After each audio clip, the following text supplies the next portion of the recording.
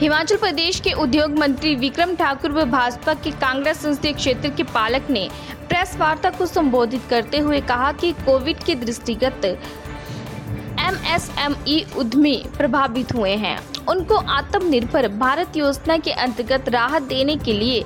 कोलेटर मुफ़्त ऑटोमेटिक ऋण प्रदान करने के लिए अब तक का सबसे बड़ा तीन लाख करोड़ रुपए का वित्तीय पैकेज घोषित किया गया है ताकि बाज़ार में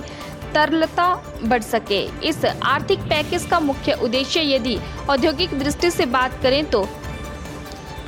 कोविड के कारण औद्योगिक सेंटर को जो एक धक्का लगा है, उससे इस क्षेत्र को बाहर निकाला जा सकता है।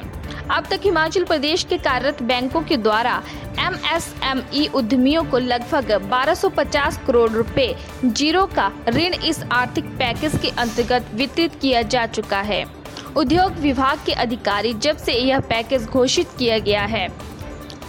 बैंकों के साथ मिलकर उद्यमियों को लाभ देने के लिए प्रेरित कर रहे हैं।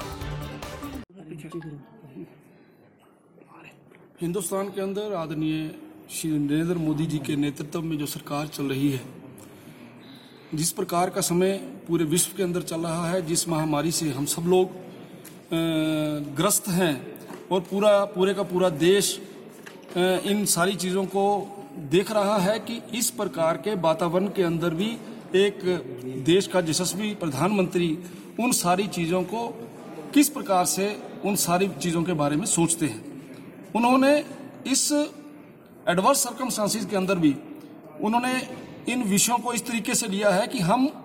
जो अगर अगर कोई जो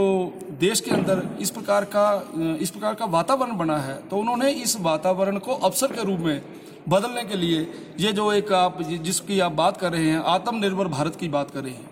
आत्मनिर्भर भारत के माध्यम से हिंदुस्तान के अंदर रहने वाला हर व्यक्ति, उसको लाभ मिले। गाँव में रहने वाला वो व्यक्ति जिसको ऐसा लगता है कि मेरा कोई नहीं है आदरणीय मोदी जी ने उसको ये बताया है कि आज की इस दुखी घड़ी के अंदर भी जो मेरी सरकार, जो आप लोगों के साथ खड़ी है। उज्जवल हिमाचल के लिए शिमला से ब्यूरो रिपोर्ट।